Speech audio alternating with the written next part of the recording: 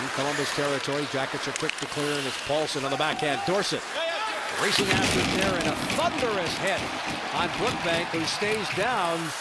They've already had one set to this may be round two.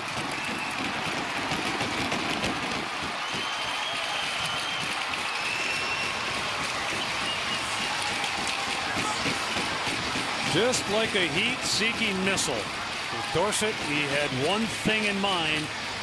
When Brookbank went back to pick that puck up, it was going to be nothing but flesh and bones. And I'm telling you, these two guys, again, they are around the same size, but Brookbank certainly has a weight advantage. And right now, Dors, well, he's on the receiving end of a pretty good left, but he doesn't quit. Look at that right hand.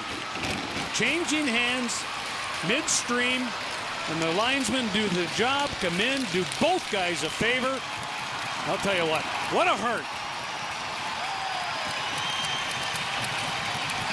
The Jackets beating them on the ice and beating them in the alley.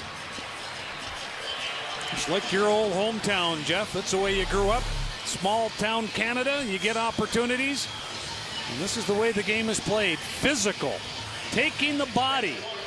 Both teams right now have combined to over 40 hits in this hockey game, and this was the fourth fight and the second time Brookbank and Dorsett exchanged vows. 18-17.